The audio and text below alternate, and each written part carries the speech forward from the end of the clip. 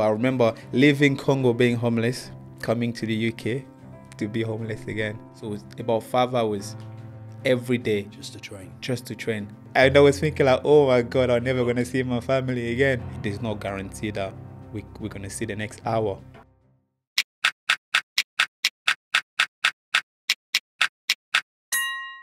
Welcome, Michael. Well, how are you, man? Thank you. Uh, thank you for being here. I'm good, bro. How you doing? Yeah, I'm good. Thank you, man. I'm good. So you're like obviously a professional boxer. Yes. Um, I just I saw your uh, fight recently, man. So congratulations. Thank you, bro. your Thank recent you. fight. Thank you. Appreciate that. Um, Michael, um, you know what we do with a lot of our guests is we start at the beginning of like their journey and then talk about like their career and you know where they came from and then beginning, middle, and end essentially. Okay. So so like um, where where were you like where were you born and raised? Um, born and raised in the Congo, Africa, Central Africa. Okay. I spent all my my life in there. Um, I came in the UK when I was about 17. Seventeen. 17, so never spoke English in my life before. It's crazy, Did man. you? Never spoke Um, English. Oh wow. What was it like um, back at home? It was hard. It was hard. I remember, like, as a young lad, um, I had to stay over there by myself because my family got a visa to come in the UK, and I was the only one that they denied visa. Really? How come? I have no idea, bro. Oh really? I feel like God didn't like me. at that time, yeah. I was really? crying, bro. Plus, Really? I was I had to be homeless at at, the, at such a young age. I was sleeping outside. I was hustling for food. So life was very tough for me in the Congo. And, and you didn't have any other family over there, I had family, but far away from where I was living. right?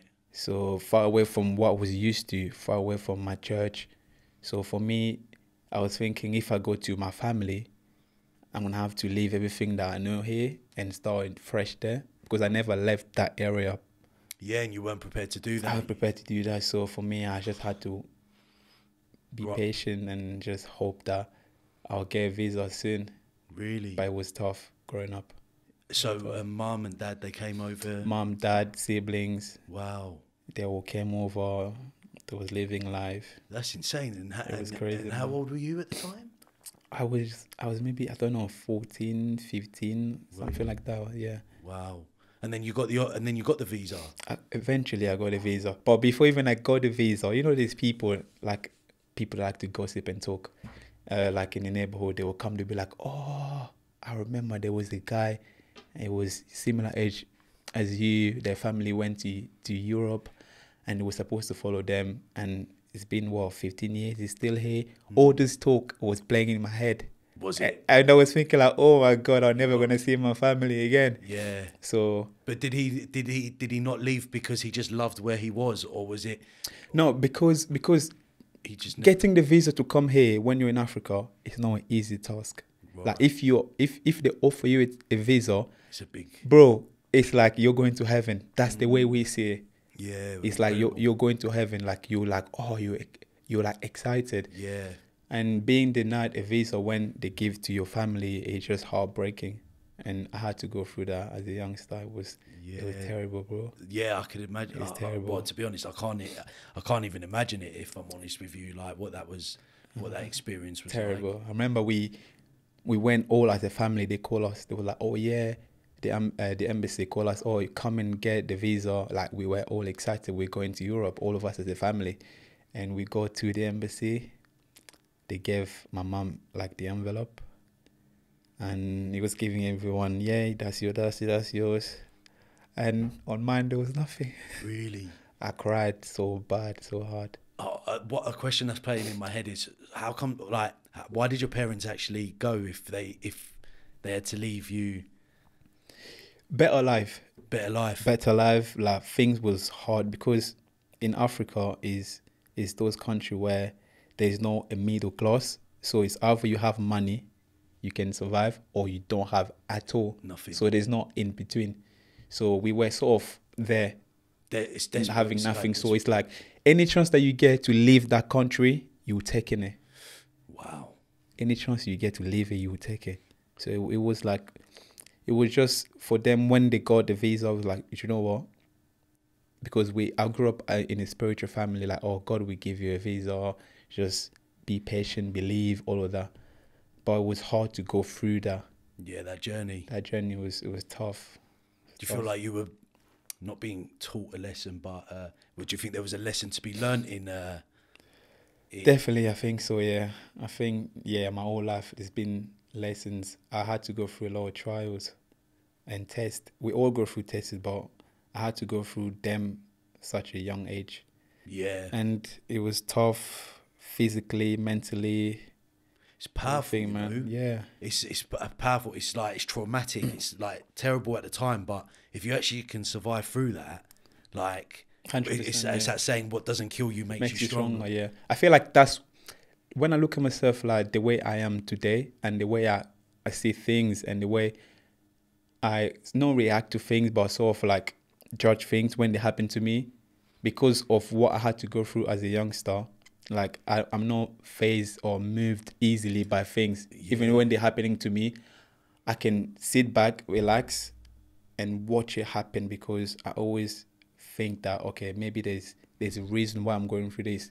Mm. Maybe I need to be a bit stronger. Maybe I need to work on my patience. Maybe I need to work on my whatever is it that I'm going through. I just take a leap of faith and just sit back and just let the situation come. Then I'll see what, what I can do. Yeah, yeah, that's a, that's a wise way of looking at it. Because uh, you know, I think you know, and, and even with me, like even I'm, I fall trap into that times where like when it gets hot in the oven and then you overreact or you might, you know, and I think it's important just to take a, a step back sometimes and It is, it look at man. the whole picture before you, Yeah. you know, move forward. Hundred percent. And the way I see it, it just when you're cornered, like there's not much you can do. Like against you, there's the wall. The only way is forward. So when when I, I get backed up, I don't really panic or of course I cry whenever I have to cry. I cry because I'm human. I do that all the time. Like I cry every time, but I don't act straight away. on emotion. Yeah, I take my time to go through whatever I gotta go through. If I have to cry, I do that. If I have to complain, I do that to myself. I've got these rules like whenever I'm upset or anything that's not going my way, I take time to just talk to myself. That's why a lot of people when they see me with this monkey, yeah, they don't get the idea behind it. It's What- like yeah, what is, it, what, is it, what is the idea behind it? oh my god, it's crazy, man. It, it's, I think, um, like emotionally, um, I go through a lot of like challenges, and for me, I had like this epiphany in 2020 when we had like a lockdown and something. Um, you know, we couldn't go see people, friends, family. Uh, some people lost their job, and for me, I think I had COVID so many times when COVID first hit, and I was isolated with my family. Like we live in the same house, but we just couldn't see each other. So it was hard for me to just speak to people because I'm I'm a person that like to talk. I like to talk to people. Like sometimes I like to just bother my mom or my sister. I just get on there. I like to do that. Yeah, so I couldn't do that, and I really started to feel very down. And one day I remember going to going to um t- uh, what's the place again? They even closing down. Um, I forgot uh, the name of the place, but I went- I remember going to that store, and I saw the monkey, bro. The eyes just caught my eye. I was like, oh, I need to take this monkey. Monkey's got your back. monkey, uh, like you know what? From that day on, every time I I got anything to explain to anyone or speak to somebody, I just speak to monkey. And he's a good listener, bro. Oh, bless. Monkey is a good listener. You have no idea. He just sit there. He just stares at you. You talk. You talk. You do whatever you gotta do, and then you feel you feel better. You because you've been taking um taking him with you to like your, uh, Yo, he goes everywhere with me, bro. boxing events as well. He's like, yeah, he goes with me everywhere, man. Goes with me everywhere. So so um so, so so how did you come about getting your visa? Um, I think just I don't know how it happened, but my dad just kept on persisting, Oh, persisting, okay. persisting. He was still on it. Um, Yeah, yeah. Um, in the UK. yeah, he still wanted me. Yeah, he still wanted me to come, so he kept on trying, trying, trying, trying, and eventually, I got a visa. But before that, I remember I spent like just overthinking, right, for my family. I remember I don't even remember, but that's what they told me. I spent like a week. I was unconscious in the hospital. I was losing blood, losing water. I was just W- weren't eating. one eating as well, and all of that. It took a lot. It took a lot mentally, like in in me. Yeah, it took a lot. But I think I will. Luckily, I got I got a visa to come in here.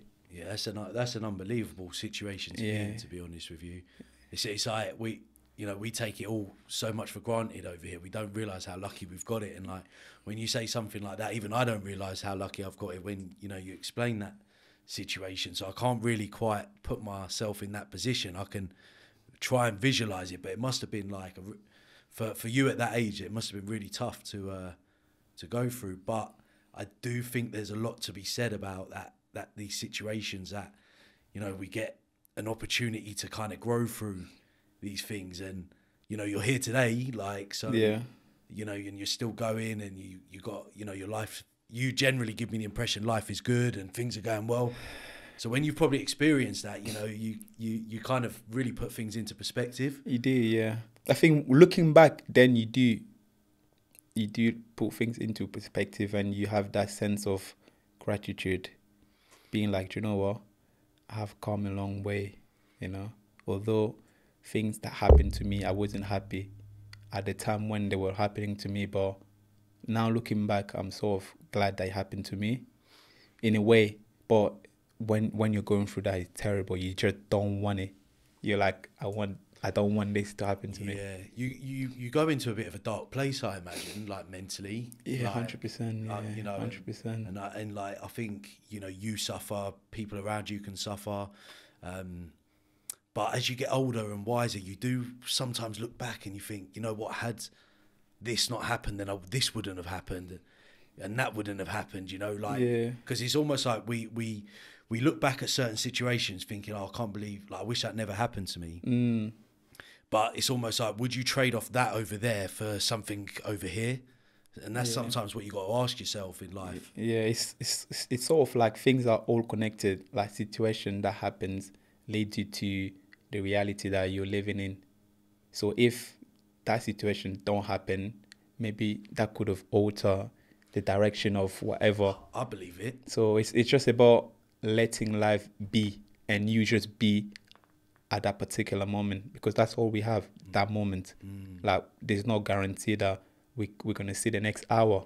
Although we we hope for the next to be alive in the next hour, Yeah. but there's no guarantee for that. Nothing's guaranteed, is it? That's The only thing that's guaranteed is this moment, me talking to you, Mm-hmm. and I have to make sure I I live in this moment. yeah. yeah 'Cause I that's all we got, bro. Respect Yeah. that, man.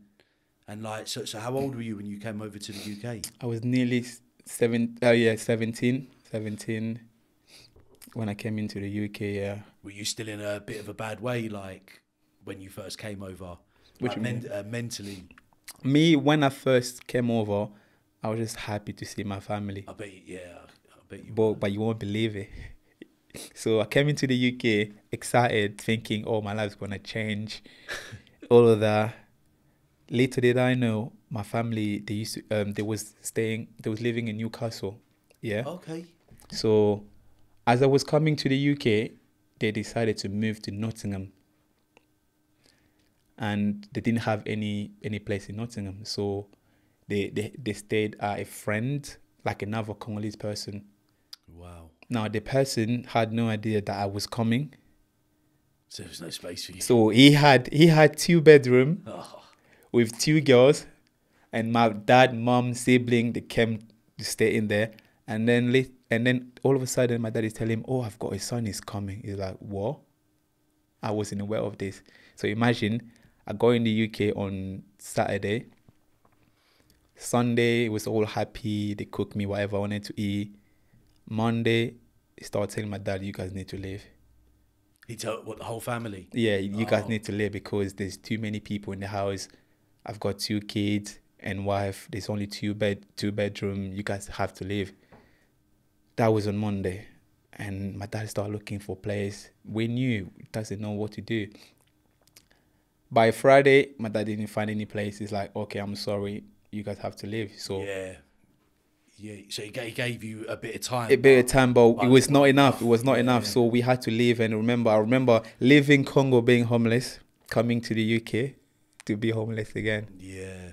yeah and plus, it was in winter. time. It was in winter.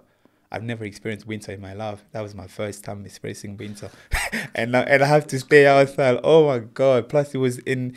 It's there's different kind of coldness when you're up north and here. It was in Nottingham, and I think uh, that year, 2014, I think it was it was uh, it snowed something. It was crazy, bro. Yeah, I was I like, I, was. I was like, what am I doing here? I want to go back to Congo. it was But crazy, man. It sounds insane, innit? I'd rather Yeah. be in uh, homeless. In Congo than in Congo. here. Yeah, yeah. Oh yeah, That's that's crazy, man. It's crazy, And was man. everyone was everyone homeless? Essentially. everybody. Were my they? dad. I remember I had like oh my youngest sibling. I think she was like maybe five or less than five. I don't know. Surely you're just not on the street though, are you? We were on the street, bro, because we went to um I think they call it uh house housing association, whatever they Yeah, call yeah, it. So we we, yeah, we went to see them. associations, They said, uh, okay, what Te- temporary temporary? Yeah, they say uh we we can't really give you anything at the minute because you guys don't have any reference in this city. You're from Newcastle. Just go back to Newcastle because technically you're not homeless. Because my dad had a place. He had he had a, a place in Newcastle Right, right. or he just decided to move to um, Nottingham, they say technically you're not really homeless because you've got reference back there. So they would give you a place. They, would- they, if you go to them, they will give you a place. But in here, we can't give you in any place. The only thing we can do for you, if you have the money, you can give the deposit. We give you something, and then we see if we, we can help you to pay the rent. But we we're not really homeless technically. And yeah, my dad didn't want to go back, so we just had to stay outside. Why why didn't he um why didn't he like Newcastle? Was it I don't know. He just wanted to move.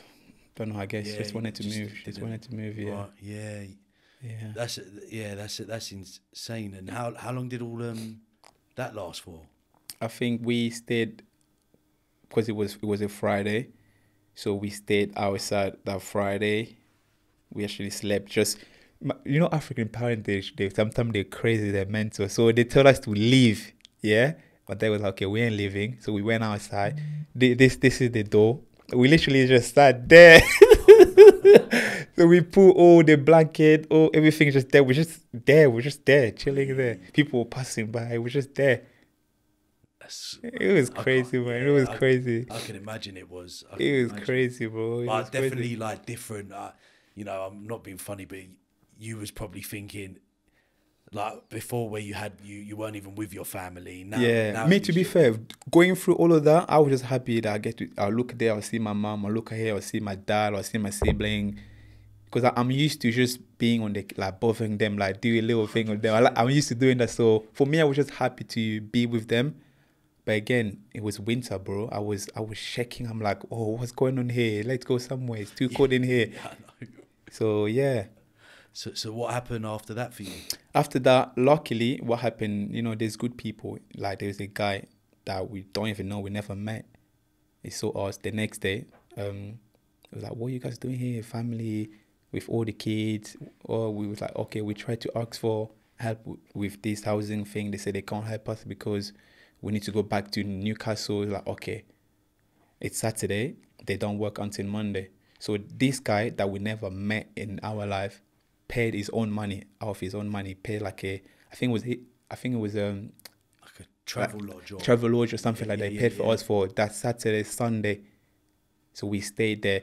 This guy was coming every day with McDonald's, just giving us food. We never met this guy, bro. It was crazy. This guy, I'll never forget him. Like we never met this guy. He saw us sitting there. He came, got, got us a, a place to stay, food. It was crazy, bro. Yeah, that is. It's crazy. that It's is. crazy. The fact that a total stranger that you've never met in your Never met, life yeah. decided to do Did you do that for us? deed for you, man. Yeah. It probably gave you faith in uh, humanity, innit? Hundred percent, bro. Yeah. Hundred percent. We couldn't believe it. We couldn't believe it. We couldn't believe it. And then this guy helped us when we came on Monday. I don't know what he did, but eventually they sort of gave us like a temporary temporary place to stay In Nottingham. in Nottingham Oh, okay. So you you uh, stood your ground. You weren't going back. because of the guy. Yeah. So because he knew, he knew because he lived there all his life. He knew what to say, how who to speak to, and then Wow. plus the reference that he got us staying at that hotel for Saturday, Sunday, and then based on that, they gave us something because they knew that we wasn't lying. Yeah. So yeah, And you weren't going back to Newcastle. That was wasn't sure. going back. My dad was not going back. My dad is so stubborn. It's like there's no way we're going back to Newcastle. Yeah, so something must have. Yeah, you you know you don't know what could have happened over there, but there was obviously something that happened over there that, you know, he, why why he was being so stubborn about it. Maybe I don't know because I've never been Newcastle in my life. I mean, I've been there now. I went had my fight there in Newcastle, but never really lived in Newcastle. Right. So So so so you've um so you you was actually from Nottingham then. yeah, Uh, I was there for like maybe a year or less than a year, and then we moved to London. Moved to London. Moved to London, yeah. And um, how old were you when you got into boxing? I was nearly twenty, bro. I was nearly 20? 20, nearly twenty, man. Um, so and what um inspired you to get into uh Money, bro. Mon- Money mon- inspired it? me. It's crazy. Um, I think it was when Conor McGregor fought against Floyd, that fight in 2017. yeah yeah You know, um, I grew up in church. As I said, like I never really like to fight. Like I like to talk. If anything, I'll talk my way out of everything. or if I can't talk my way, I'm just gonna run.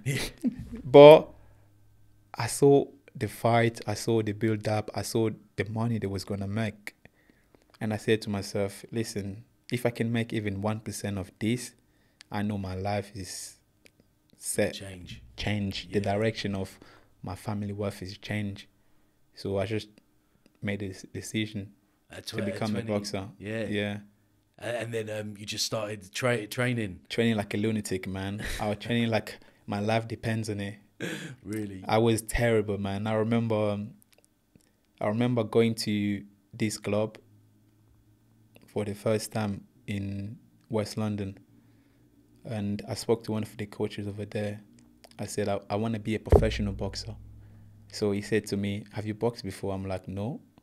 Do you know how to fight? I'm like, No. He's like, How do you want to be a professional boxer? I'm like, I don't know. yeah, just make me one. Just make me one. So I started training. I started training. At first, I was terrible, bro. This guy was calling me names. I mean, for the, I first came to the training session, right? We done a session there.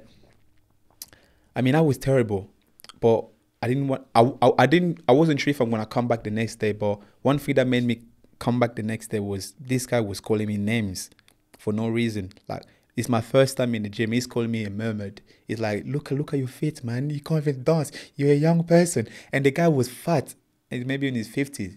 But when he's moving, he's moving like a like a middleweight. Mm. I'm like, wow. He's like, look at me. I'm fat. I got a big belly, and I'm moving. Look at you. You're a youngster. You can't even move. He's calling me, you're a turkey. You're a bomb. I'm like, yo. Wow. I'm like, there's no way. I'm, I, I need, I need, I need to, I need to prove you wrong. I need to prove you wrong. There's no way I'm gonna let you get away with this. And it's, it's, it is like they're testing you, isn't it? It's like it's either they're going to find out if you're going to push through it Yeah, or if you're going to just But break. at first, I thought he didn't like me, but then later on, I found out that's just his personality. That's the mm. way he is. That's the way he teaches. Mm. Like he like to play with like kids' mental. If you're weak, you're not gonna come. But if you're not weak, when you come, he's gonna push you. Yeah, yeah. I to be honest, I had people like that in my life when I was a when I was an apprentice, like Yeah. growing up and becoming a plumber. Some people I used to work with, they would be like, they'd be really quite hostile and angry. Like Ah. that sort of environment, especially in the kind of building game. Yeah. And um and yeah, you'd think like, oh, why are they being like this and stuff like that. But- Crazy, bro. But this guy was just mental. He would, he would slap you. He would be like, "Come here, come here." He'd be like, "Come here, come here, come here." What did I say to you? Double jab, triple jab. What have you done? Double jab. Why? What happened to the triple jab? Slap. Just like that. Go back again. You spend three rounds, nothing else. Double jab, triple jab. That's how he trained me. It's you, and you- crazy. And you, kept coming back. Like you I kept coming every day. You? Yeah, you never. kept Re- did you never react? No, never. You can't talk back to him. Like just his voice, he makes you tremble. You can't talk back to him. like he- he's got that authority when he talks to you. You just want to listen, mm. and he's a good person. And I feel like I owe him a lot. Like when I first started, like everyone in the gym, because of my character, because of the way I am as a person, I'm very gentle. I like to talk, like to laugh. they thought I was just a joke. And he's the only person because he saw that desire in me that no matter what he says to me, I was coming back. He saw that and he was willing to give me a chance. Like normally we were training Monday, Wednesday, and Fridays, 5 p.m. But I spoke to him. I'm like, if I can come every day, anytime, I'm happy to do that. And he took his time out of his busy schedule to just spend time with me every day, bro. When I say every day, I mean every day, Monday to Sunday. Every day, I'll, I'll. I'll call him or text him, be like, oh, I need to come do a session. He will come up in the gym just for me Really? to train, just for me. He obviously, yeah, he saw, he saw. Um, Yeah, it's, it's just so that it's, uh, it's not like I was technically good. No, I was terrible. But he had heart. but I wanted to. I had the I had the willingness to learn, and I was humble enough to not say anything back at him. Yeah. so Yeah, do, do you know what? Like, I, I, I was like that when I was younger. I, I would never normally overreact if Yeah. they said, said anything to me. And I couldn't quite see it at the time. But later on in life, I was like, these people were teaching you something. They're just teachers. Like, and I think sometimes there's, there's like, we want people to like be good teachers all the time, but there's different types of yeah, teachers there there. is, there is, man, there is, there is. So, so you, you just got to training and like, like nearly enough training every single day. Hundred percent. Because the way I saw it, like before even jumping into boxing, um, I've always wanted to, you know, help my family financially. So as a youngster, the minute I was able to say hello, I got myself a job. I couldn't even speak, but I got myself a job. Literally five months after getting into the UK, like when we got a place there, I started working straight away. I got a job at 17. I couldn't speak. I was helping out the entire family at such a young age. I was working sometimes 60, 80, sometimes 100 hours a week. Were you? I was a grafter because I wanted to just help my family financially. And I had that work ethic already. I said to myself, listen, what are the chances of me spending 30 years working in a corporate ladder?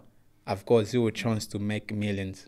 Maybe if I if I meet people that want to help me, the chances are very small, Small. small to nothing. Mm. But in boxing, it's not guaranteed, but if I work hard and I give it 30 years, there's a chance, even if I don't make millions, there's a chance of me making good money to help out my family.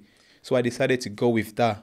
Well, and you're a bit of a, you know, a master of your own destiny because you, if you work hard, then Yeah. you you get the opportunity, and you know, it's kind of like as as long as you work hard towards it, then the results will kind Will of come, yeah, hundred percent.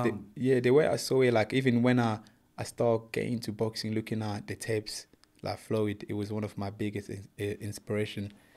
Uh, everything he did, he did. I I done it. Everything like it was crazy. Like for me, it was like a god. Like I would listen to him talk, talk, talk, and say whatever he does to get ready for a fight. I would do it.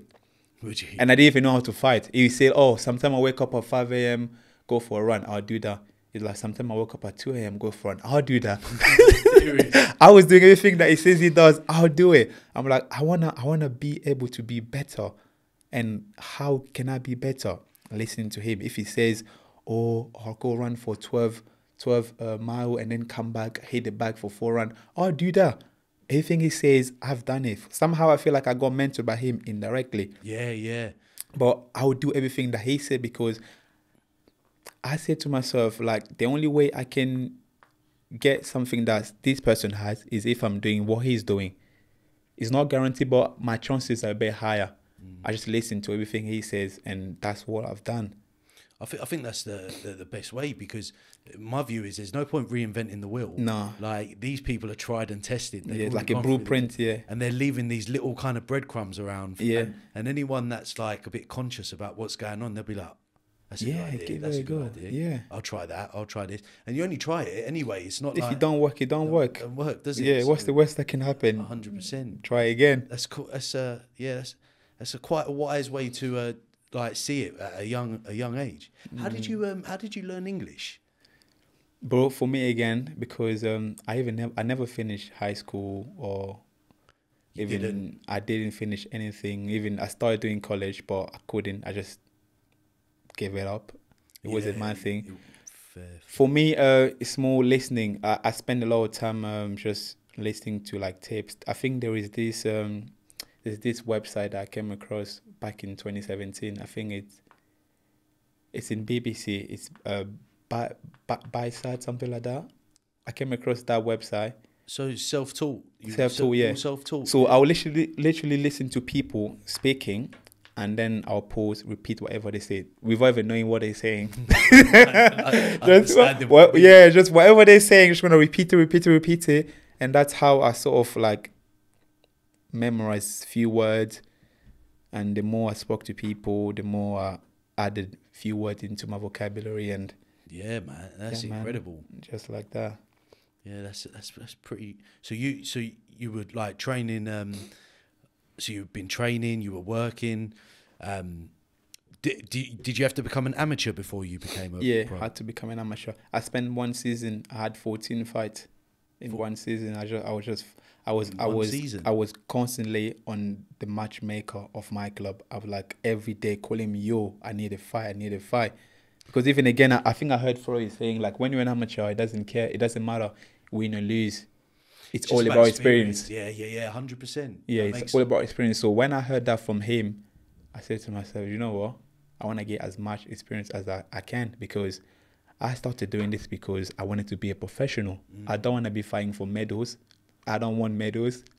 I want to be fighting for, I'm a prize fighter. I want to be fighting for money. So I just done one season and I didn't like it. I, I didn't think What, what, amateur was my style as well. what, what's the length of um, a season? I think the season starts in, if I'm not mistaken, in February. I mean, in September, and it finishes somewhere in June. And I started boxing in September. No, maybe end September. When was Floyd fight? I don't even know. Somewhere in September. So my first fight, I had it in November of 2017. November, yeah, November 2017. So from November 2017 until maybe my last fight I had in February because I turned pro. I turned pro in 2018. Wow. So I literally So not even, even not, not even for like not even a year. really. Not even a year. That's it. That's insane. Not even a year. So, so you was you was boxing for like a couple of months, obviously of months. quite a lot. Yeah. Then you got into amateur boxing and done like four. No, no, no. I wasn't boxing at all. So I got into amateur boxing. Um, my first fight I had it in November. My last fight I think I had it maybe in March or something. So a couple of months. Yeah, and you had like fourteen fights. Smash it all in there. That's that's like Smash it all in that's there. graft. I'm like, yo, I need, I need, I need the experience. Do you know what? Regardless of the outcomes as well, like Yeah, it, I wasn't interested about winning or losing. All I wanted to go practice whatever I was doing in the gym. yeah, That's that's all I wanted to do. I just wanted to go in there, see if this is really what I want to do. Because sometimes you might think you want something, and you get punched in the face. You're like, this is not for me. So I just wanted to see if if this is really what I wanted. Do, so do, do you remember your first fight? Oh, bro. Oh, my God. I was peeing every 10 minutes. I, f- I remember I was maybe, um, You were what you were doing. I was peeing, going to the toilet every 10 minutes. because the adrenaline. Bro, I was so nervous. I was so nervous. And, oh, the guy that was fighting was maybe six one or six two. I'm 5, I'm 5'10. No, 5'9. The guy was tall. All I was doing, bro, I was just, oh, swinging like Mike Tyson. I don't know what I done, but I won it. I was just swinging like Oh, Mike Tyson. I win it. Nice. I won that fight. I won it. It was uh, like it was my club show, so it happened in our gym. Oh, okay. Like, like what? Um, is is that actually what actually in the gym? It was it, yeah Yeah, yeah yeah, It was okay. like I think like every year every year my club All Stars yeah they do like a they call it like I don't know what they call it, I forgot but they do like a every year in November they do like an event where everyone come To the actual boxing. to the uh, boxing and then yeah Yeah. so I think um, Islington boxing do that. They do that as well, yeah. Yeah, yeah. So so you had like fourteen fights. oh my god I and it smashed it didn't scare, and it didn't scare you off then. No, no. I was like, you know what? Give me as much as you can. And when I feel like I had a little bit of knowledge of how to defend myself, I thought, let me go for it. Let me do what I wanted to do, become a professional boxer. Um, Yeah. Yeah. So you and that's when you became pro. That's when I got my license, but I didn't fight until 2020 or 2019 in December. Well, why is uh, why is that? I couldn't sell ticket, bro, because in the UK they have this system of selling ticket. Because I haven't been boxing for a long time, nobody knew about me.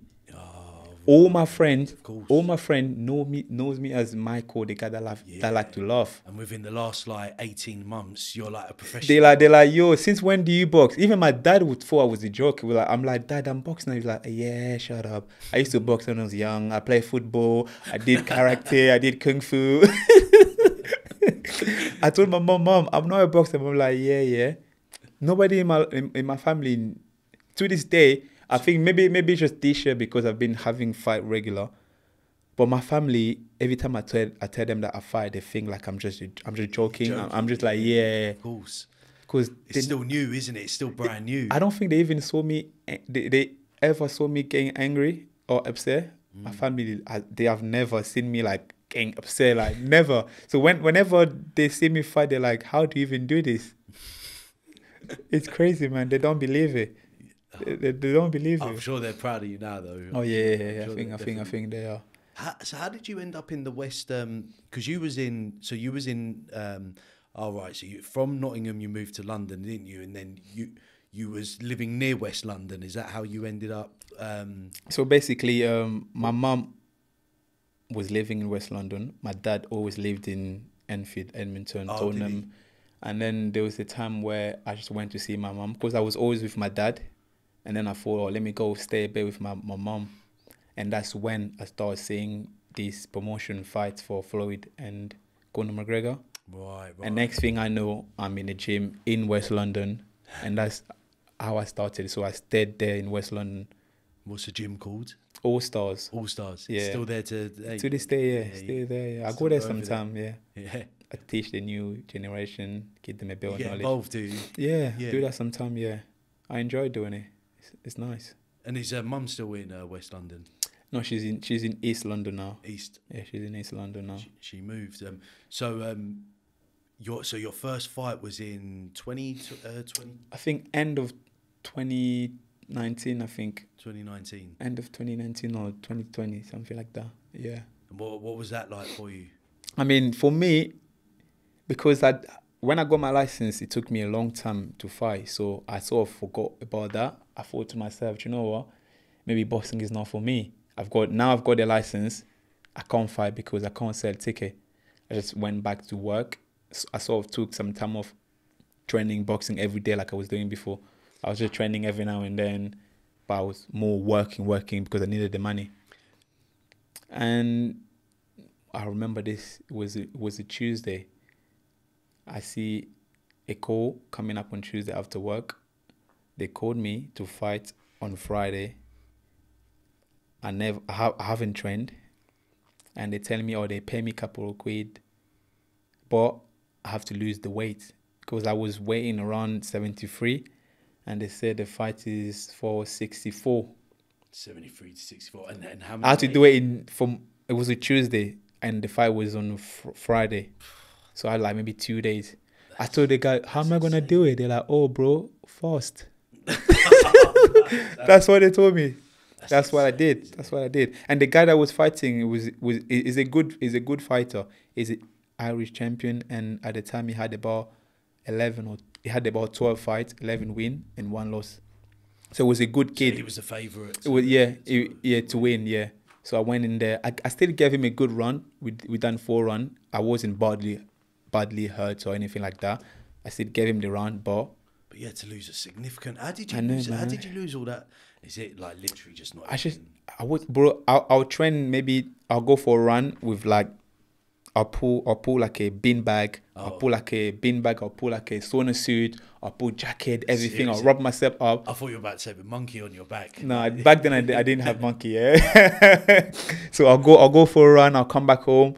I'll barely drink water. I'm not gonna eat, and I'll do that maybe two twice a day, and I'll go to work. And it just fell off of you, yeah. Bro, come fight night, I didn't have my legs. Yeah, I bet you did. I didn't have my legs at all.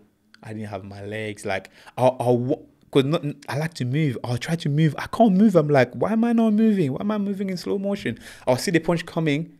It will hit me, then I'll move. it was crazy, bro. It was crazy. It was crazy. I lost my first. But I did, like it was an opportunity to like. For me, it was an opportunity because I lost. I lost that that faith that I can ever fight because I couldn't get in the ring. I can't say a ticket. Did it, didn't the um wasn't there much opp- opportunity through the boxing club that you was with or even my boxing club was against me turning professional. Were they? Because they're like, yo, you just started boxing yesterday. You haven't even learned how to throw the fundamental. Yeah, you think you know, but you don't because you just started. I didn't know anything about boxing. I didn't even know the promoters, the managers. Bro, I knew nothing. All I knew was Floyd. And whatever he was saying to me, that's what I was doing. That's all I knew. That's amazing, though. But I just knew in me that if I stay in this club, as much as I like it, I've learned everything that I could have learned in this club. Bro, I'm glad that I left when I left because I think maybe a few months I came back when I left that gym. I became a, a prostitute in a sense that I'll go to every gym. No, no, in that sense, but I'll go to every gym just to sort of get the knowledge Experience, from different coaches. Yeah. Like I, I, I start sparring everyone, bro. Everyone. It doesn't matter if you're a flyweight or a big weight, whatever way you are. I'm gonna spar you. I just wanted to get the experience because I couldn't fight in the ring, so I thought I'm gonna get the experience in training. Yeah. I spar everyone. I spar world champion, Olympian, good boxers. That's how I spent my my two years before I had my, my fight. I was just sparring everyone. Sparring, sparring, sparring. I think my, my club was against me turning pro. I think for a while I, I wasn't speaking with my coach, the one that took me, because he was like, yo, what do you think? You think you know how to box now? Yeah, but, they because uh, they've probably gone through that a long period of time. They have training. They have. They have. And and to be honest with you, like I, am not, I wouldn't like knock your way. You was obviously eager, but yeah. cons- you would have had to have gone from a lot of pain in a short period of time. Yeah. To to get to where you wanted to get to. And that's like a tough journey to to put yourself. It is, it is. I feel like as well technically I wouldn't improve as faster and quicker than I did if I had to stay in the gym. Yeah. Because all they was teaching me was enough for me to just do what I could have done on that level. Mm. But my ambition was a bit higher, was a bit bigger, mm. and nobody could have seen it. Even when I was speaking to them, I'm like, you guys see me here, I'm doing this, but I'm not actually here. Mm. I see myself fighting on the telly, fighting like Floyd. That was me. Like, because I, saw boxing through him. I want to do what he's doing. I see myself there. They're like, sometimes it was knocking me down. They're like, oh, you can't even, even when you move, you move, you, you put your head like this, you're exposed. All of that. For me, I couldn't hear it. I was like, no, let me just take myself out of this situation because this this situation, this environment is not was it too, was designed it for me neg- to neg- negative, yeah. very negative. I'll come in the gym. I'll come in the gym there. It, like everyone will be watching me now. Everything that I do, they'll point out. They'll be like, "Stop! why are you punching like that? And you say you want to be a professional boxer. Mm. It was it was it was that bad. Yeah, I didn't mind that, but I thought to myself, it's good for you to to see those mistakes, but can you teach me at least what what shall I do instead? But they wasn't doing it. They were just pointing out the mistakes and leave me there hanging. It's almost like they're pushing you, pushing me down. Yeah. But I knew what I wanted. I knew that I wanted to become a professional boxer. Mm. Yeah, because uh, like like I say, they they were so in that kind of thing of like training for five years, yeah, six, seven, ten. They, they're like, yeah, you have to, you have to, you have to pay your dues. You have to do go through the amateur. You have to fight for the ABAs, fight for this, fight for that. I'm like, I didn't sign up for this. I signed up to become a professional boxer. They knew when I came in the gym the first day. They knew I spoke to I spoke to the owner of the gym, head coach all the coaches because I came early. Training started like at five. I was there at three. I spent time from three to five just speaking to them. Yeah, so I'm like, I'm like, yo, I, I, I want to become a professional boxer. What do I do? Mm. They're like, you need to learn how to box first. You need to be an amateur. I'm like, what's an amateur? Oh, it's when you fight for medals. I'm like, okay, I'll do it then. So they sort of laugh, not force me, but they sort of like guided me into that.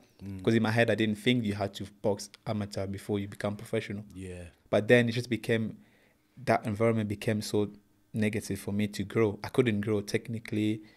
I was doing the same mistakes and over and over again. So I had to take myself out and just go learn from different people, different people. And that's what you did. You started going around sparring people. That's it, sparring people, training with people. Was that just all over London or No, not London, bro. All over the UK. all over the UK? I remember this, bro. Sometime I'll spend six. I'll spend two hours one journey, one hour training, two hours coming back. So it's about five hours every day just to train. just to train, hmm. and plus because I couldn't. I stopped working as well because I wanted to learn. So I really didn't have any money. So I would bump the train to go to training. So I will actually bump the train to go to training. And because I was doing it so much, the guy that worked there in my local, my train station at the time, knew me already. So whenever he sees me, he would just look away. Because I, at first it was like, pay for your fare, pay for your ticket. It was literally insulting me. But then You became friends. not even friends. He just, he just, whenever you see me, you look away. you just look away because he knows whatever he says, Give you the I'm going. I'm like, bro, I need to go training. you can either open the door for me, we do it politely, Well, but I'm not missing. I'm not, I'm not missing my training. Yeah, I was bumping the train to go to training. I didn't have any money on me, and I stopped working because I couldn't balance it. yeah. I couldn't balance it both. I couldn't work, work, and come train, train. I couldn't do it. So I had to decide, like, you know what? I'd rather be broke now For later on. for later. Yeah. Yeah. So you, yeah, you. That's to be honest, that's incredible. That's incredible.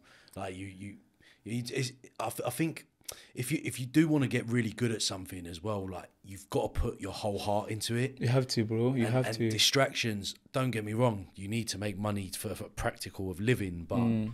distractions uh, can can like divert your. They just divert your attention. Yeah, you try to do too much. And you can also find it not excuses, but because there are excuses if you look at them. At the same time, they are fact because we're living in a society where you have to pay for your bills, pay for your house, pay for your food. That alone, you can use that as a as an excuse factor that oh I don't have the money. Um, okay, let me go work.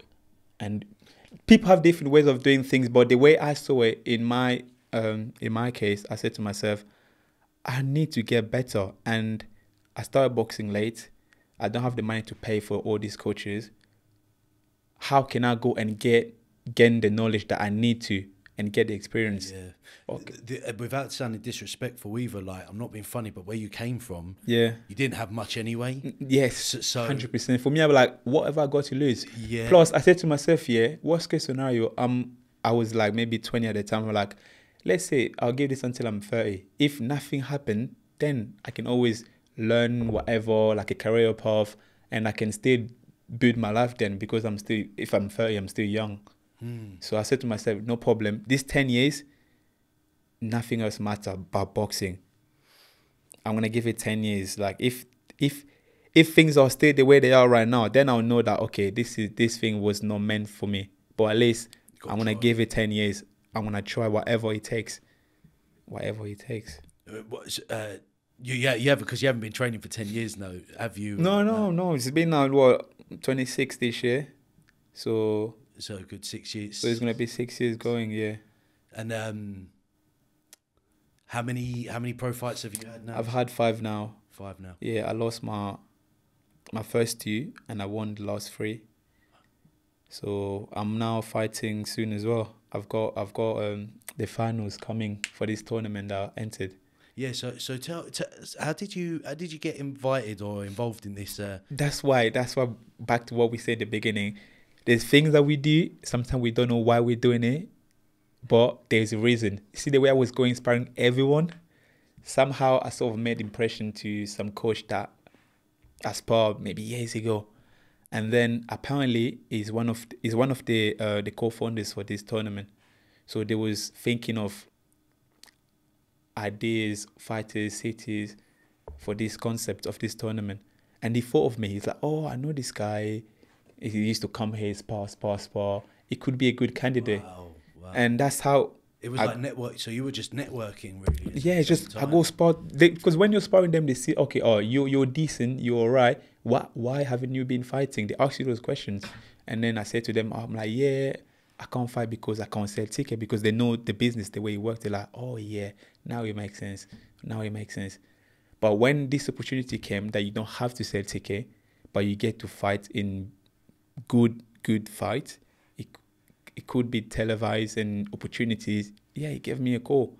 And the minute he gave me a call, I'm like, yo, I wonder, sign me up. You're definitely not passing this. I'm not passing this. I'm taking it with both hand. Mhm. And yeah, I fought the semi-finals. I won. So, so how many fights in that tournament? It was it do? was it was two fights basically. So you fight. It starts from the t- semi-finals, then the finals. Oh, is that a so? Oh, okay. So it's only the two. It's only two fights, Right, yeah. fair. So And and and what will that lead on to? um? it will lead up to bigger things like the winner of um of the finals can potentially challenge for the British uh, British title. Wow. So let's say I fight in in, in in the finals and knock out my guy, game out of the way. Next year, I'm looking at fighting for the uh, British title.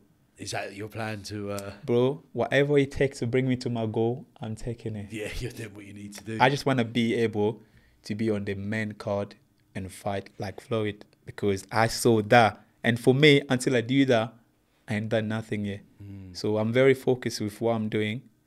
Um, yeah, I'm just training, training, improving constantly in the gym. And do you know what? Like, for, uh, from my point of view, I think anything's possible. Hundred Like, percent. I, I think if you if you've got that serious mindset, Yeah, like, you, there's no point even judging it now. You got to judge it when you're ten years into something. hundred percent. Yeah, Like that's when you've. But if you you, you need to have that unlimited belief of a mindset, because no one's going to believe in it as much as you can. It is, yourself. it is, man. Because the way you see it, like you're the one that got that thoughts, you're the one that got that vision or that idea. Nobody else got it. Mm. So if nobody else around you believe believes what you're believing, it just makes sense because they can't. They're not standing where you're standing. They're not on your shoes. They they don't see your vision. They're not in here. Mm. When I go back to sleep at night, they're not in my thoughts. I'm there with myself. I speak to myself. So I know what I tell myself. And if I truly believe to what I'm saying, it's only a matter of time. Yeah, hundred percent. It's only a matter Yeah. of time. Yeah, That's why every day I, I just work on things that can guide me in the journey to where I want to be. Things like patience, you know, I get to work on that. I get to work on on just knowing when when to speak, when to do. it. There's a lot of things that you're going. Through I'm going through towards my journey to where I want to go. And for me, it's all about embracing the journey. Like every day, I, I make this part of my life. Like there's no way I'm spending a day without training. The, the, no the thing I love though is like you. So you got the end goal here, Yeah, but you're still going. Like you're still understanding that journey, that Yeah, process that you're going through. So it's like it's nice because you got to trust the process. yeah. As much as the end goal is good for me, as much as I want to be a billionaire by the time I retire, I want to make a lot of money, crazy money. Yeah. But for me, what's important, the steps that I'm taking. Mm. okay, what can I do today that will lead me to the next step? Mm. What can I do to tomorrow that will lead me to the next step? For me, I'm more obsessed with those steps than the end goal because I know once I get it, naturally as a human, I will want more. Yeah. Like let's say today I make a billion, I'm like, wow, I made one billion.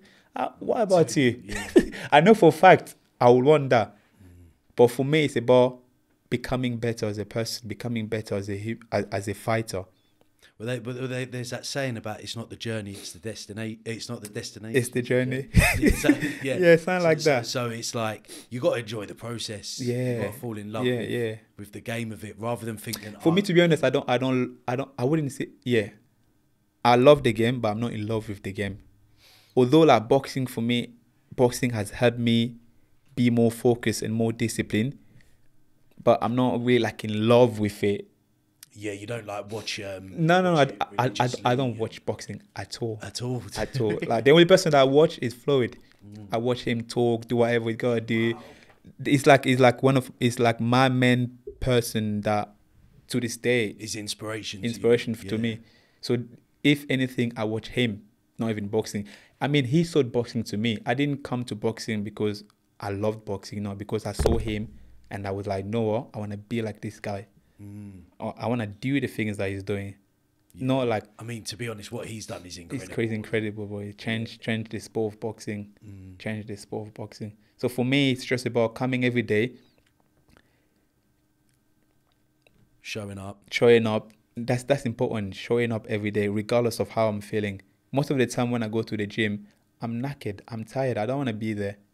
But I'm thinking to myself, if I don't come today, my opponent, the guy that's trying to rob this this um, dream of me, is training. So I'm giving him chances. There's no way I'm gonna give him any chance. I'm gonna take every chance that I get away from him. To, to That so get that, so that so that when we fight, Yeah. I've got that edge over him. Sometimes for no reason, I just like sleep like at seven, seven p.m. so that I can wake up at midnight to go for a run because I know there's no way my opponent is running at midnight. I know midnight is. What- probably watching Netflix and, and chill Is at midnight. A, what, what, what's the benefit of running at that time? I think it's it's more mental the way I see it for me at least. Right, It's all mental mental. It's all mental because I know there's no way he's doing this. Mm. Is there's no way my opponent is training like midnight or two a.m. in the morning. There's no way because if I do that, I know he's gonna wake up maybe at seven. Maybe his first session gonna be around nine, ten. When he's gonna be training, I'll be training. Yeah, you've already been training. I've been like, training already, so I've sleeping. I've got that edge over him. So for me, it's more mental. Yeah. It's all it's more mental. Plus, I just I'm I'm I'm such an early riser. I just like to wake up in the morning, get things done early. You're young. You've got loads of energy still. Bro, I got plenty of energy. take advantage of it. Plenty of energy. That's why for me right now, yeah, whatever, anything that I'm doing, I'm not too worried about it because I know, in case it don't go my way, I've got I've got time. Mm. I've got time. I can do whatever. A- and and at least you can honestly say that you tried as I well. I gave it a go. You I gave gave it like a a, proper, shot, a like- proper shot. Yeah. Yeah, no, do you know what? That's a that's it's incredible, and I do um like I wholeheartedly like wish you all the best in, in Thank you, what you're doing. Thank and you. Thank I'm you. excited to, to see uh see where you're going, and um you know it was quite interesting because when you were talking about you going all these different places sparring, you actually met quite a lot of influencers along, Oh, along yeah. the the journey. I mean, a lot of people. like you like you've met KSI, you've you've got a good friend uh, Arms Corleone. Yeah, yeah. Like, how, how did you like go about meeting these people? I mean, I met them through the the gym again. Like there was there was um I think I met them when uh, COVID happened. Oh, was all the gym, sort of yeah, all the gym were closed, and there was this one particular gym. It was always open, Yeah. and uh, yeah, I think like ever since I've been in that gym, like because like I don't know if you've heard of this, like iron sharpen iron. They're saying that iron sharpen iron. No. Oh, iron sharpen iron. Yeah, So yeah, yeah, heard of it? 100%. Yeah, yeah, yeah. I have heard. I feel like in that gym there's so there's so much ambition. Mm. Like every single fighter in there is hungry, want to succeed, want to make it as a fighter. And because I want the same thing that they want, and I got myself in a place with similar like-minded people, bro, we unstop unstoppable. yeah. Like when, when when we train, if you're not a fighter, you come and see us, you feel like these people are crazy. What are they doing? like we we physically damage our body. We do we we, we abuse ourselves every time we're training. You you all look happy though. Like I see, I like have no arm- idea, bro. Like I see arms. Yeah. And like the way he exactly what you were saying. Yeah. We're like punching each other in the stomach and beating each other up. Um, but you all look like like you're loving it. Hundred percent. boy. the thing is, like our body don't want that, but our mind is forcing our body to do that. So It's conditioning as well, It is, isn't it? it Like, is. Rather be conditioned by good people around you than than the, the guy in the I rather I rather you that I know in the gym beat me up and then correct it so that when I go in a fight I cannot make the same mistake. But not making those mistakes in the gym and be there and find it out. because um, I, I, I've been uh, sparring, but I'm going to be fighting in. Um, Let's go, bro. No, Let's go. yeah, I'll be yeah. there supporting you, I'm, uh, man. I'm doing my first fight at the Selby Centre. Yeah. I ju- I've been um, sparring and I've been I got punched like straight in the face. How did that eyes, feel? eyes were watering. Like I got, I had a bruise on my nose. Oh my Uh, god. Yeah, and I was just like, I was like, I was I was annoyed, but Yeah. I was just like, this is really necessary. Like it's necessary for the the journey, um, because I don't want any hidden surprises on the No. night. Like I want to know that everything I've done outside of that ring has been towards Yeah, yeah. getting in in the ring. So, Everything that you, you you can face on the night, you have gone through it in the gym. Yeah, That way, you you at least prepared, I'm gonna have to start getting up at midnight and two in the morning, bro. man, Whatever you gotta do, man. Whatever you gotta do. now I've got the inspiration. Whatever you gotta do. Sometimes you gotta set yourself challenges because, like, as a human being, we one thing that I've noticed throughout my, I know I haven't lived in a long time in this world, but throughout my 26 years, is we lack progress. I don't want to be doing the same thing every day. Imagine if we're telling you every day, you can all you gotta eat every day for breakfast is, is what oats, Yeah. and for dinner, beans. You're gonna get fed up of it. You'll be like, no, I want to change. So we lack progress as human beings. So you can say you can set yourself some challenges. You can do, you can wake up like me. I, sometimes I do it for fun, just so that I can tell my body that I'm in charge. Like my mind is in charge. I'm the boss. I like I'll be like, you know what? I know I'm tired. Like sometimes I do like I train every day, Monday to Sunday. I do Sunday as well. Sundays as well. I do twice every day and once on a Sunday. And sometime during the week, like on the weekdays, I'm tired. I'm like, wow, I'm tired. Why am I tired? I add an extra session. I'm like, I'm like, okay, because I'm I'm this tired, I want to give myself an extra session just for mobility. But somehow, whenever I do that, by the end of the week, I feel so good. I feel so good. Yeah, Yeah, I feel like you know what? I don't feel that bad. Hmm. So sometimes it's not to just play those mind game with yourself and set yourself new target. You can do this today, this the next day. At least you know, okay, you you're having fun with it because it, it's quite boring, bro. It's repetitive. Yeah. You're doing the same thing every day. Boring. And uh, I I think it really helps when you're around the right sort sort of people as well. You need that, yeah. Like when you're when you're around these like ambitious people and Yeah. all like even the, I love that's what I love about the Fit Factory. Like it's good energy there. It's like it's not like it's like a negative place to Mm, not quite. to, to train in. So Yeah. like everyone's kind of like it's spruce like um like pushing each other on and Hundred like, percent, yeah. yeah cheering for each other Yeah. is what I'm looking for. It's a good community place. Like like we all come with different goals, but we all we, we all have goals, although it may be different to each of each of us. But the objective is that we've got a goal and we're pushing each other to achieving those goals. And when we all meet together, we're like, oh yeah, you like I met the other guy um, at the Fit Factory. I think it was yesterday or the day before yesterday.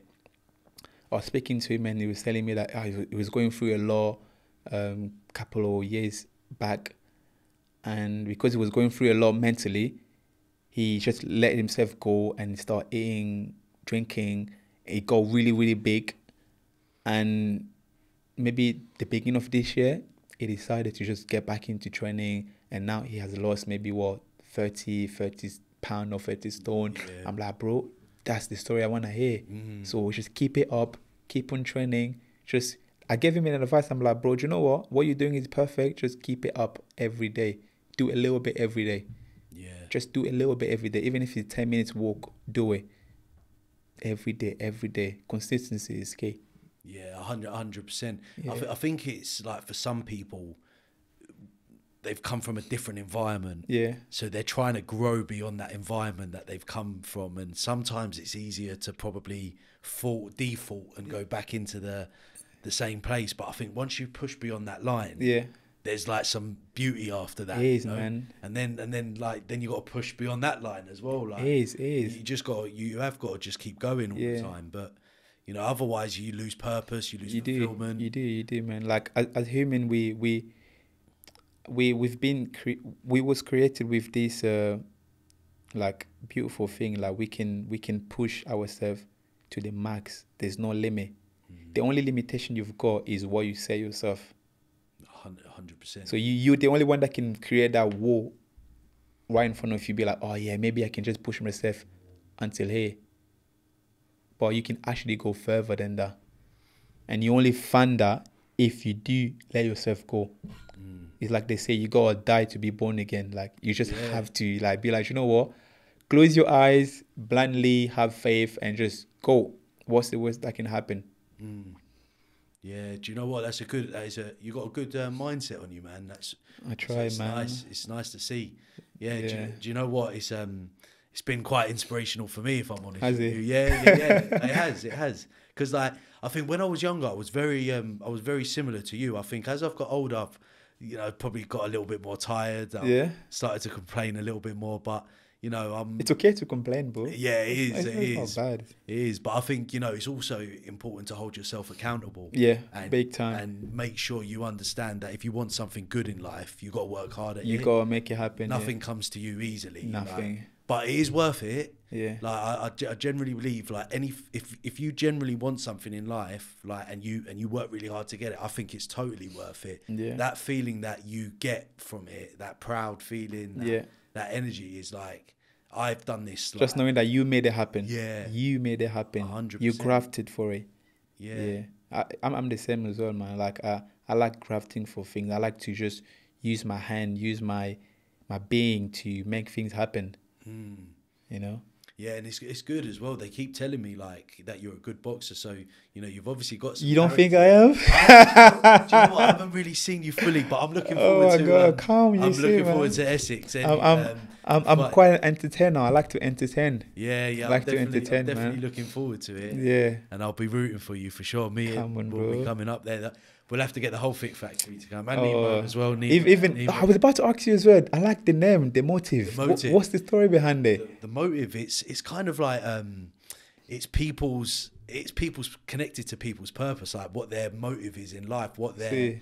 what what it is that they're doing in life and what they've done i think that, that so the, the purpose of the podcast was to talk about people's life journeys where they've had adversities and challenges but and do you know what you're a very good example of a guest for this podcast Yeah. yeah, because Pleasure, bro. from your journey of where you came from, like, and I didn't even know it was that deep either. By the way, like your story, I just knew you was a good boxer. You got good energy, Yeah. like, and I thought, oh, he'd be a cool person to talk to. But what you said, I was a bit like, whoa, is that, is that what happened? But, um, yeah, and and the fact that you've kind of come out of that and then turned your life around, and now you're and you're still like pushing towards something positive, like, Yeah. it's it's really good to see. And I think that's what we should all be doing as humans, you know, like because I think I've seen what it's like in the dark place as Mm. well. So, but I've also seen what it looks like on the the night the light side of it all. Yeah. I think the point you have to do is just keep going forward, keep pushing That's it, forward, man. keep growing. The only time you stop is when you can't breathe.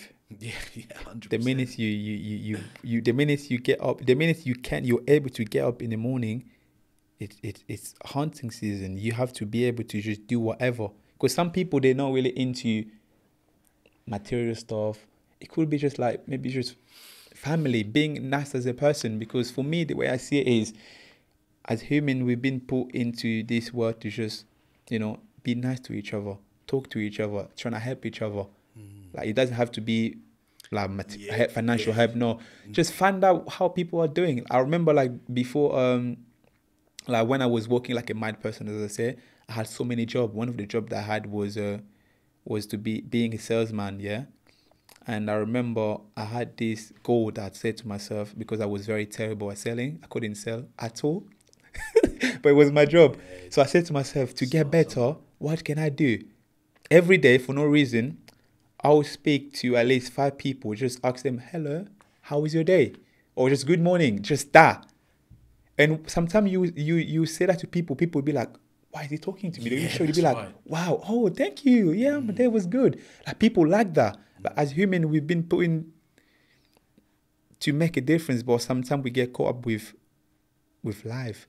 You know, with business, you got to rush to go for work or go pick up your kids or go do this. We forget There's a about lot- I- the I feel- little thing. I feel like there's a lot of that in London, to be honest. Like, I feel like there's a lot of like pressure. Yeah, there's a lot. People always kind of locked in. Crazy so- pressure. Yeah. Even when when I was in Nottingham, was it like that? Mm, was it? Oh, it was it was calm. Even like I think Oh. last year I, I was staying in Manchester, yeah, for a bit. Uh, I was staying in this little town. I, I wouldn't say I'm the only, I was the only black person, but it felt like it. I was the only black person. Every time I go to supermarket like Tesco, you know, I'll be people coming around me, looking at me. So I, I liked it. I liked it, but I was just gonna say hello to them. When I say hello to them, they will speak to me straight away. They'd be like, "Oh yeah, good, good. I haven't seen you here." We just start a conversation like that. But in here, we don't. In London, especially in London, like if you see someone right now, there's zero chance you will see them again. Mm. Yeah, it's that busy. Yeah. It's that busy. So like back then, I would just like speak to five people a day, say, ask them how they are, find out how they're doing, say hello to them, that's and just walk walked away. That's it. and I feel really like good. that that helped me a lot as well. Yeah, it helped me a lot. Made a few people's day that way as well. Oh, know, like, 100%, Some, 100%, some yeah. people just want to be seen. You know, Yeah. like Even sometimes by me speaking to them made my day because I wasn't expecting them to speak to me back. yeah, yeah. people was probably expecting the worst. Most Some people they would be so rude. They'd be like, "Fuck off! Why are you saying? Why are you looking at me? Why are you talking to me? Like be rudely rude to you, yeah, but aggressive for no aggressive reason. for no like, reason. Yeah, But I, it was fun for me because I needed that. I needed that. I needed to just get get out of my comfort zone Mm. because I, I wanted to become a better person. I, I'm sure I didn't say this uh, at the beginning, but back home in Congo, like I was very socially, I was very awkward. were you? Like, bro, I couldn't speak.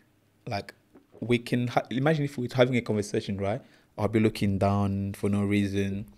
I was, I struggle with stu- stuttering. Okay. And uh, when you're a kid, it's just kids are mean. In Congo, yeah, when someone is stuttering, you know charcoal. Yeah, yeah. If they show you charcoal, you're not gonna bring, you're not gonna say a word. You you will go even worse, like uh uh uh uh uh. uh. What? Or some people just like cross their fingers like this. You what, what would they do with charcoal? just show it to you, What? Just show it to you. and then you won't say a word. oh right.